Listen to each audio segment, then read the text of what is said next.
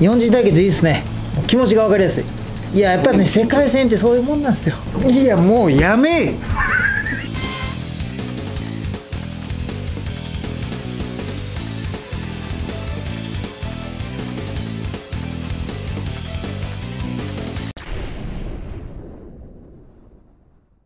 はいどうも長谷川穂積です、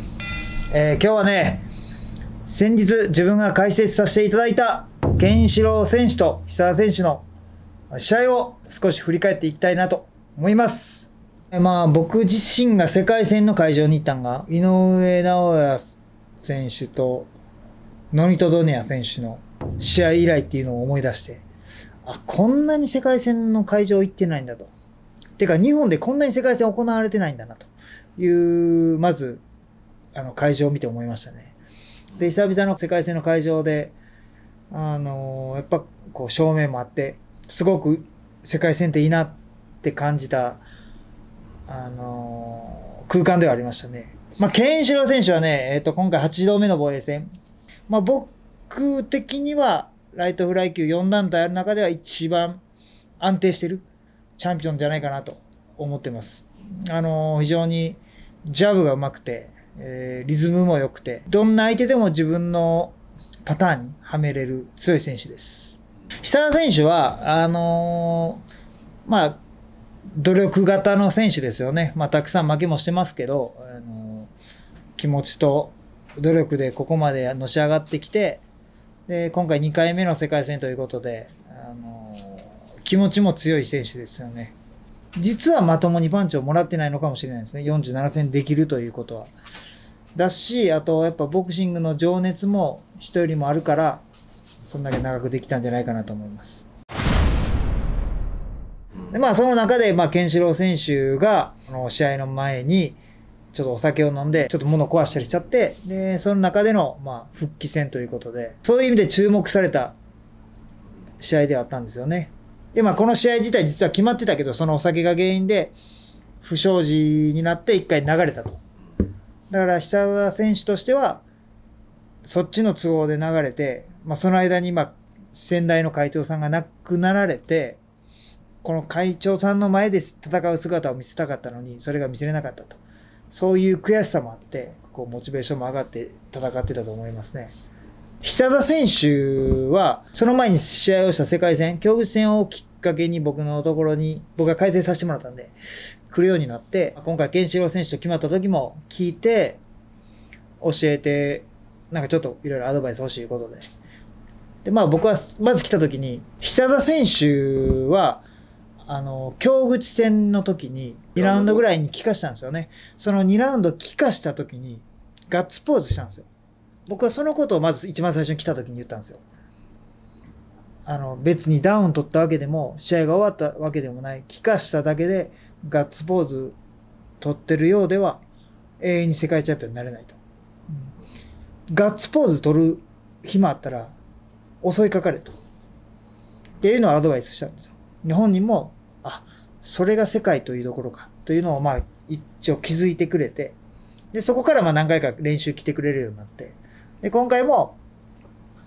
ケンシロウ選手とやるから来てくれて、で、ちょっと見てほしいと。で、まあトレーナーに僕、ごめんなさい。僕はあの、嘘をつけないんで、はっきり言いますと。あの、7対3で不利ですと。やっぱケンシロウ選手はうまいし、試合巧者だし、あの、あの空間を作るのがうまいから。今のままでは7対3不利なんで、まあこの試合までの2ヶ月弱で、どんだけこの差を縮めるかっていうところがすごく大事なとこだと思いますと。じゃあちょっと一回マスボクシング見せてくださいって、たまたま、えっ、と、来てた畑中健人。はい。と、ちょっとだけマス、軽いヘッドギアつけてマスボクシングしてもらったんですよ。まあ3ラウンドぐらいですかね。で、そのマスボクシングを見た後、トレーナーにごめんなさいと。今のマス見る前は7対3やったけど、マス見た後、9対1で不利です。って僕ははっきり言ったんですよ。え？ってなって、なんでですかって。まず、根本、ボクシングを知らなすぎる。うん、その、ボクシングってただ殴ったら勝つ競技ではないから、あの、そのタイミングであったり、な、なんでそのタイミングで、例えばじゃあジャブをもらうのかとか、そういうのも考えてやらないといけないんですけど、まあ、マスなんですけど、ケントのジャブを出したら全部もらうぐらいもらってて、まあ、このジャブをもらうってことは、ケンシロウのジャブももらうだろうなと思って、もし、ケンシロウ選手のジャブをもらい出したら試合にならないと思うんで、うん、それを想像したときに、まあ、9対1ぐらいで圧倒的に不利だなと思いましたね。で、それを本人とトレーナーにも伝えて、じゃあなんでこのジャブってもらうのかなっていうのをちょっと僕なりに教えて、まあそこから2ヶ月弱でどんだけこの自分が言ったことを理解して、プラスやっぱ勝つ試合をしていかないいけ。それだけじゃないんでね。いけないんで、まあどういうこう、コンディションを作っていくのかなっていうのは気にはかけてましたね。いやまあなんせケンシロウが硬かったですよね。まあだから本人はすごいプレッシャーだと思うんですよ。自分も想像はしてたけど、1年4ヶ月ぶりぐらいの試合で不祥事があった勝たなあかん。しかもなんかちょっとやっぱ KO せなあかん。結果よりも内容も詰められるような展開で、あの硬さを見ると、まあ本当に僕らが知らないところで本人は一番苦しんでここまで来たんだろうなと思いましたね。逆に久田選手は結構パンチも当ててたし、実際ジャッジ2人取ってましたから、あの硬いケンシロウ選手のあの1ラウンド目で、ある程度勝負決めに行かなあかんかったんじゃないかなと思いました。まあもちろん1ラウンドやから、それそんな1ラウンド目で勝負決めようっていうパターンはないです。ないんですけど、あのケンシロウ選手の硬さを見て、勝負どころなんですよ。もう1ラウンドはっきり言って。あの、気持ちがほぐれればほぐれてくるほどケンシロウ選手のパターンになるから、その、もうあの手と足がバラバラのような状態の時に、バンバン強引でも行ってたら、反応も多分遅かったから、あのチャンスに行けてたら、本当に、その、そのラウンドでは終わってなくても、そのよ次のラウンドから変わってた可能性はありますよね。でもそれも実力なんでね、すべての。2ラウンド目にケンシロウ君がダウンを奪うという展開そうですね。お互い、ジャブ最初当たってるんですよ。で、久田選手はジャブだけ。ケンシロウ選手はワンツーをつもりでジャブ打って、でそのまま流れでツーってダウン取ってるんですけど、やっぱそこでダウン取れたのは、ボクシングの神様はまだ、ケンシロウ選手を、あの、認めてるんだなと思いましたね。うん、あれで一気に硬さがほぐれました。余裕が出ましたね、気持ち的に。あと、なんかこう、やり取りするじゃないですか。パンパンパンパン。その後に、久田選手がちょっとでも下がったら、必ずケンシロウ選手は、すぐに前に出て、間髪入れずにジャブ出すんですよ。そのジャブのタイミングがやっぱうまいのと、あそこでパンパンパンパンってやって、またはい、お見合いじゃなくて、パンパンパンパン、プッパン、そこのジャブ一回入れるだけで、プレッシャーにもなるし、プレスをかけれることにもなるし、久田選手としたら、やりとりの中の、一瞬間置いた時にジャブもらうんで、ペース取られてるっていうか、ポイント的には分かんないですけど、ちょっとこう、自分のペースではないなっていう、だから戦ってるケンシロウ選手の方が楽は楽な戦い方ですよね。ジャブもそうですけど、あのステップですよね。まあ、時には跳ねて、まあ、時には跳ねない時もあって、あのステップがね、あのステップがね、実はフェイントになったんでね、普通にステップして、はい、ジャブ出します、ジャブ出します。ちゃんちゃんちゃんジャブ出すと思ったら出さんかったり、ちょっと遅らしてジャブ出したり、2、2、2、2ステップを早くして出したりとか、1、2、3でジャブで、1、2って出したりとか、あのステップもこうフェイントになってるから、まあでもあれをするにはやっぱ相当のこう足腰の強さがないとできないんで、あれ12ラウンドやるにはね。まあ相当走り込んでるとは思いますよ。これからね、まあ、13回、具志堅さんを超えるのを狙ってる言うてるんで、まあ、本当に減量さえ大丈夫であれば期待したいなと思いますね。はい、どんなに出来が悪くて調子、調子は良かったかもしれないけど、試合の出来は悪かったけど、それでも負けないうまさがあったってことです。だこれを乗り越えたケンシロウ選手は次からまた強くなります。はい。もうどんどんどんどん強くなると思います。これは KO で勝つよりも良かったかなと思います。はあ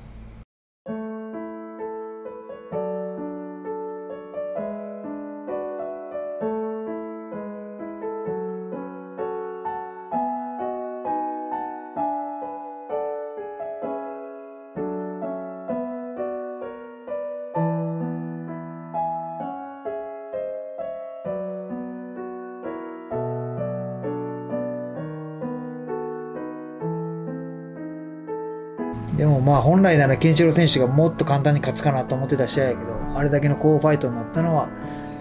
まあ久田選手の努力も大きかったかなと思いますね。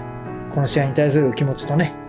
いやあのケンシロウ選手のジャブに対して合わせる練習をしてきてそれも何発かええの当てたりしてやっぱ一番やっぱ気持ちの強さが目立ちましたね。もっともっとプレッシャーかけられて負けてもいいし倒されてもよかったんですけどそこでも引かなかったり手出し続けて。あの僕が言ったからって修正したかどうかは分かんないんですけどあの自分が思ってる以上のコンディションを作ってるなと思いました。よくこの2ヶ月弱で9対1っていう自分が出した不利をここまで持ってきたなと思って逆にそれに感動しました。負けはしましたけどポイントは開いてたけどポイント差以上に競った試合だったと思うし成長は見れましたね。めちゃくちゃ見れましたね。一番成長したんちゃいますか？この2ヶ月で。この40何戦の中で。勝ちしたいっていう気持ちでね、はい、だから本人にとってそのせ一番成長したんじゃないかっていうような状況で試合して、まあ、負けたんで悔いはなく引退って言えたんだと思います。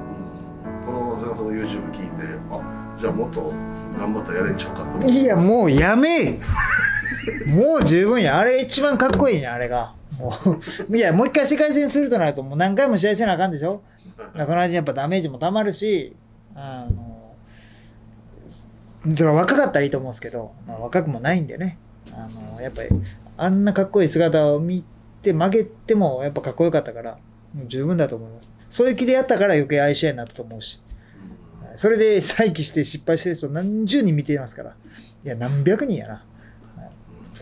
でもこう家族が見てる試合っていうのは、やっぱ違うんですか？選手としては。そうですね、まあ、あの家族、お子さん2人はね、まだ双子の女の子はちっちゃかったから分かってなかったですけど、あのお姉ちゃんぐらいになると、やっぱ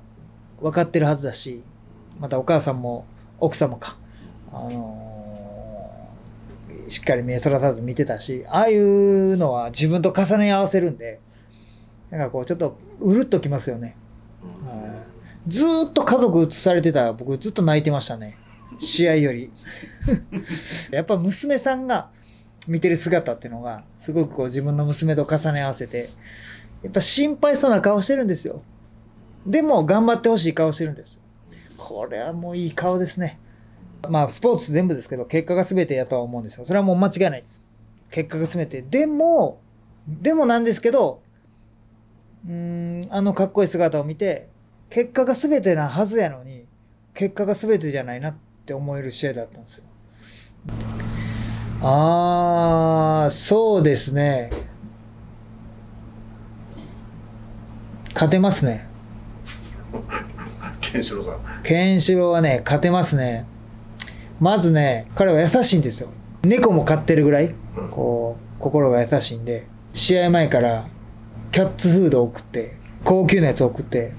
すいません。なんか申し訳ないです。感を出し出させます。で試合の時もコーナーでこうリングでじゃあお願いします。グローブタッチする時にキャッツフードまた送るからなって言ってあれ美味しかったってあれ1個4万円ぐらいすんねんってでも猫多分絶対いいあの喜んでくれるからって言ってコーナーに分かれてジャンプのパーリングしながらもキャッツーとどうやったみたいなのをちょっとちっちゃい声で言いながら同情を誘って隙をみした時に襲いかかります。にゃーにゃーってこうやってにゃーにゃー。まあその作戦でいきますね。はい。